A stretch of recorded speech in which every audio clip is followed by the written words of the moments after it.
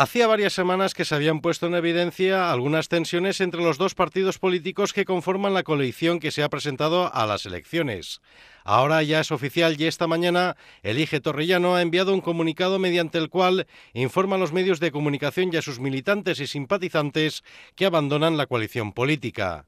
Desde el Eje Torrellano han explicado que tras varios intentos de reconducir la tensa situación entre los dos partidos, han decidido retirar el apoyo a la coalición y al partido el Altet decide debido a las discrepancias en la forma de trabajar y en los fines por los cuales se mueve cada partido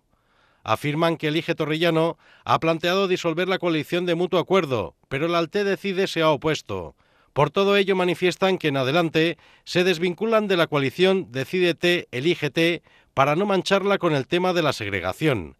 Elige Torrellano seguirá como partido político y anuncian que tienen cuatro años por delante para escuchar a las pedanías, barrios y campo de Elche y trabajar para conseguir tener voz en el ayuntamiento.